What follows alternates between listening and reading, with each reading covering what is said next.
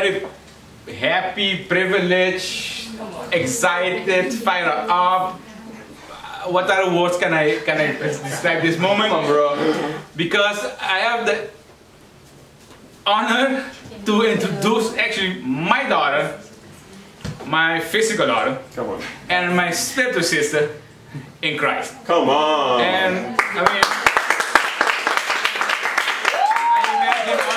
fathers out there, mothers out there, how, how, how happy they will be if they have to really introduce their, their, their child to something. I mean, but for me, is to introduce the child for because she's going to share what the cross mean for her. Come on, Daniel. And, you know, most of you know me, uh, my name is Aldrin. They call us the, uh, uh, the Rocking Rojas.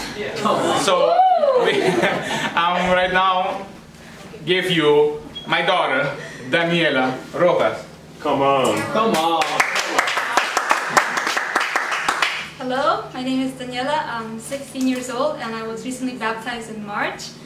Um, so today I'm going to talk about what the cross means to me. And i I was really struggling with this, like to see what the cross means to me, but then I've been praying a lot about it and for me the cross means the truth.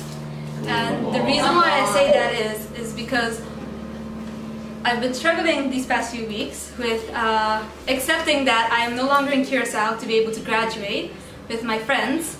And I'm seeing like all my friends are graduating, they're going to be celebrating it, and I'm not going to be there.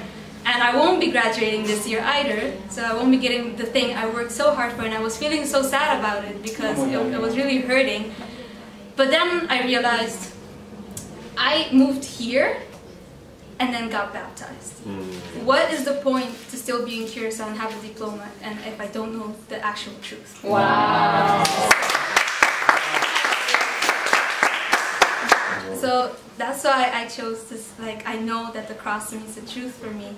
Because um, I grew up in the family where my both parents were disciples, and I always thought that, like, I was good, that I was okay, because I know what I have to do, but I wasn't doing it. So I would tell people, hey, do this, this, this, this is what the Bible says, but my life wasn't reflecting the Bible.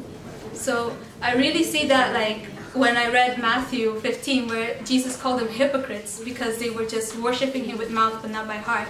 And it, it, it struck me because that's the truth. That's like what I was doing. I was being a hypocrite. I wasn't worshiping, doing what I had to do. My life wasn't reflecting the Bible. It was just by words, and I didn't mean it. But once I got to know the truth, I got to know the actual love that Jesus has for us as well. And that's why I can say that I am very proud and happy to be a disciple and not have a diploma because truth is better.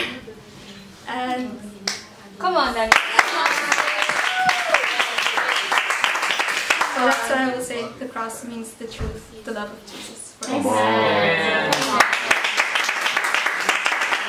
Before, before we, we go to pray, I want to share the scripture. It's um, John 3.16. You know, all, you all know about this scripture. It says, "For God loved the world that gave His own, the one and only Son, that whoever believes in Him shall not perish but have eternal life." Let's pray. Father God, uh, thank you again for this moment, Father. Thank you um, for your love you showed through Jesus Christ, Father.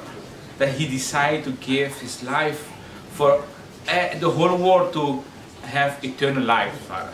And Father, He's the uh, um, His love for us is so so big that we really can understand it. But by seeing the cross, by seeing Him laying the cross, and He took all our sins at the cross, then we can understand that what is really the true, true, um, truth love means.